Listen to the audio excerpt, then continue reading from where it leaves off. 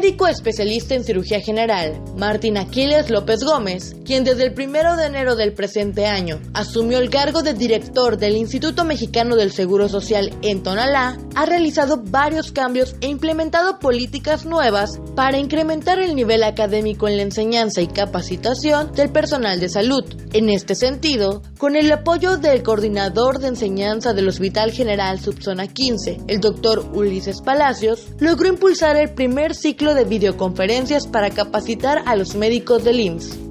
El doctor José Manuel Morales España, Turulo también, desde la Ciudad de México, nos ofrece una conferencia que se titula El abordaje inicial del dolor precordial en urgencias, dirigido principalmente a médicos en general. Hemos invitado a médicos tanto de base como personal en formación del Hospital Juan C. Corso y de otros hospitales que han asistido y es una oportunidad bastante grande para poder tener conocimientos nuevos, frescos y en entrega inmediata, como es en esta modalidad de videoconferencias.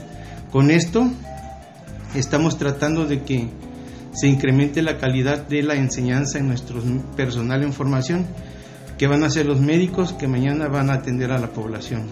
Estamos pues tratando de hacer cambios, porque en el IMSS, en la delegación Chiapas, y ahora, en el Hospital General de Subzona número 15, cosas buenas están pasando.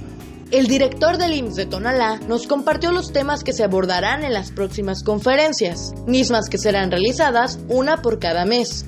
Ya están programadas las próximas cuatro conferencias. Primero empezamos con temas de cardiología, temas selectos de cardiología. Eh, van a ocupar cuatro conferencias cada una con duración de, 45 minutos y 15 minutos para preguntas al ponente que, que, va a estar en otro lado.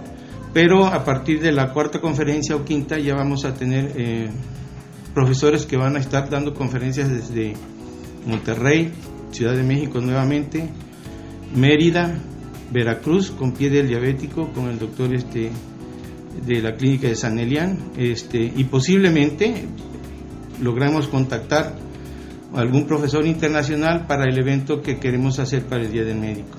El médico Gómez López espera que durante estas videoconferencias se logre cumplir el principal objetivo, mejorar la calidad en la atención para la población.